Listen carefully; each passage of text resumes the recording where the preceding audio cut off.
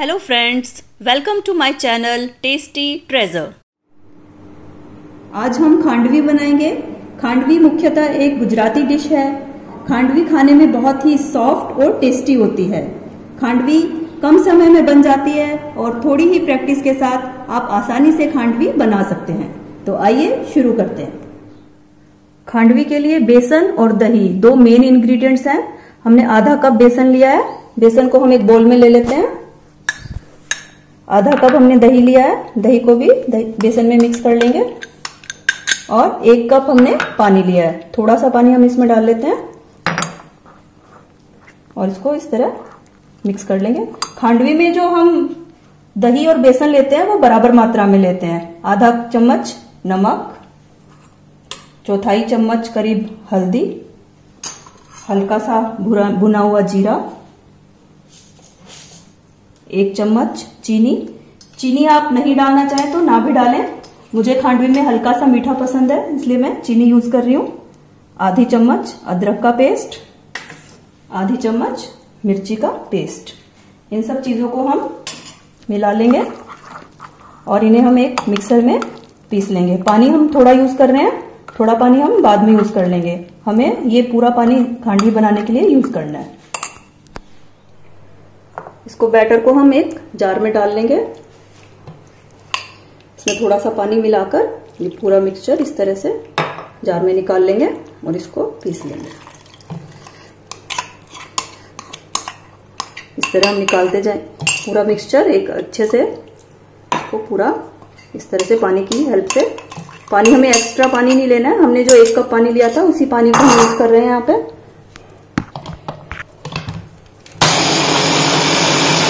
Mix, mixer में पीसने से क्या हो?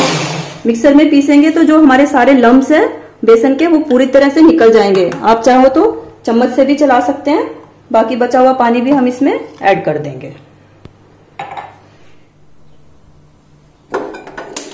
एक पैन को गर्म कर लेंगे। इसमें जो हमने मिक्सचर बनाया था, बेसन का, बैटर जो है, वो इस पैन में डाल देंगे। और इसे धीमी आँच पर लगातार चलाते हुए पकाएँगे। अगर हम तेज फ्लेम पर बैटर को पकाते हैं तो बेसन में लम्स आ जाएँगे। गैस की फ्लेम कम ही रखेंगे और बैटर को हम लगातार चलाते हुए पकाएँगे। आप देख सकते हैं कि हमने जो पैन लिया है, वो चौड़े मुँह का है। इससे जो हमने बैटर लिया है, वो जल्दी पक जाएगा। आप देख सकते हैं, बैटर धीरे धीरे गाढ़ा हो रहा है।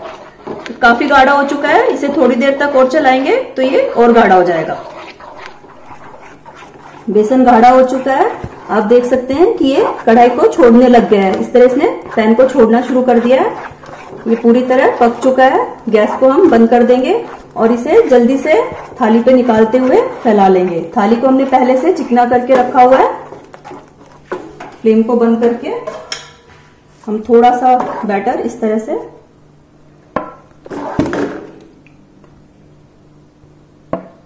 प्लेट पर निकालकर बचे हुए घोल को हम ढककर रख देंगे और इसको स्पैचुला की हेल्प से इस तरह से फैला लेंगे। इसको हमें पतला पतला फैलाना है। हमने करीब आधा कटोरी बेसन लिया था। उतने बेसन में हमने जो घोल बनाया, उसको हमने करीब चार थाली पर फैला लिया है। अब हम इसे तीन चार मिनट के लिए ठंडा होने देंगे, उसके बाद इसे काट लेंगे। तब तक हम छौक को तैयार कर लेते हैं। एक पैन में दो टेबलस्पून तेल ले लेंगे।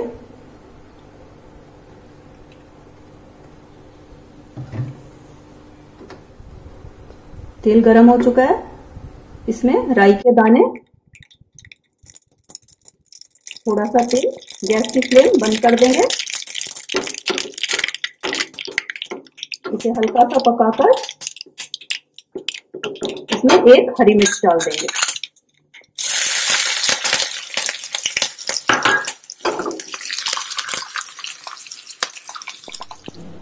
तीन चार मिनट हो चुके हैं और खांडवी भी ठंडी हो चुकी है। इसे हम चाकू की सहायता से इस तरह काट लेंगे।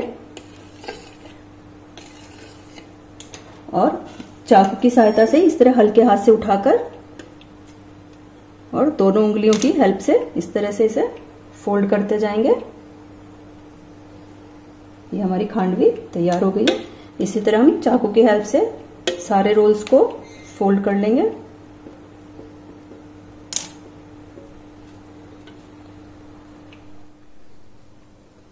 खांडवी तैयार हो चुकी है। इसके ऊपर हम छौंक डाल देते हैं। इस तरह हम इस पर थोड़ा थोड़ा सा छौंक डाल देंगे। थोड़ा कच्चा नारियल। खांडवी के ऊपर जो नारियल डालते हैं वो ताज़ा नारियल होता है और थोड़ा सा हरा धनिया। खांडवी सर्व करने के लिए तैयार है। और अगर आपको मेरी ये रेसिपी पसंद आई हो तो मेरे चैनल को लाइक शेयर और सब्सक्राइब ज़रूर कीजिए।